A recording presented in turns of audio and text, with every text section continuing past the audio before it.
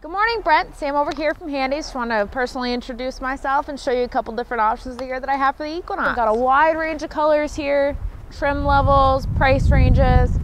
Just right here, they're, most of them are four cylinder, but I can get you a six if you want. I do have um, the option to get something from another dealership if I need to.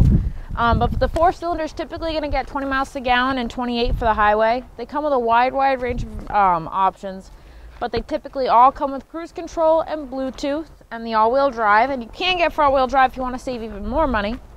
Um, this is one of the bigger ones that we do have out of our SUVs.